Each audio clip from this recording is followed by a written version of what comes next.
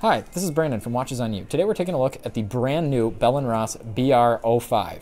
This is probably one of the most controversial watches of the past few months, just based on the fact that it is designed very similar to many of the sports watches from other brands, such as the Patek Philippe Nautilus and the AP Royal Oak. It kind of incorporates elements from both of those watches into this piece.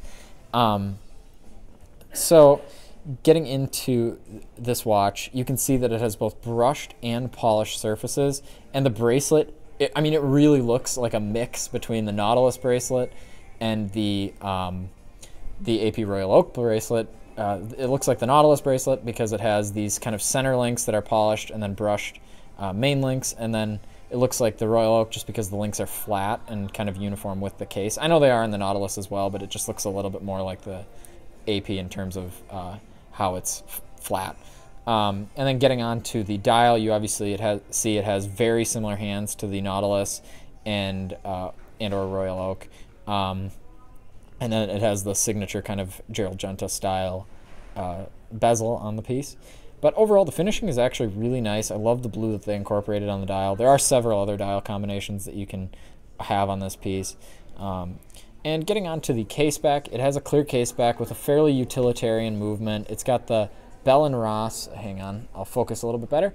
It has the Bell & Ross caliber uh, 321 movement, which is not in-house. I believe it's Sellita based, possibly ETA.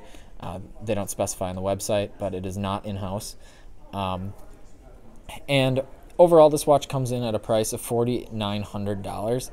Now, the finishing on the movement or sorry, the finishing on the overall case and everything would justify that. But in my opinion, the finishing on the movement and the fact that it's a Bell & Ross and the resale value tends to be fairly poor for these pieces, um, it does not justify that. If you do want to purchase this watch, I would recommend that you do so on the pre-owned market.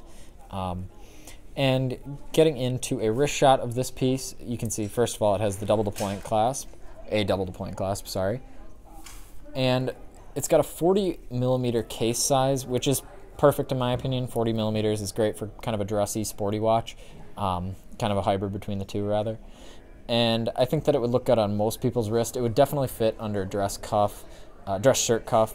And uh, just for comparison purposes, I, my wrist has a circumference of 6.5 inches.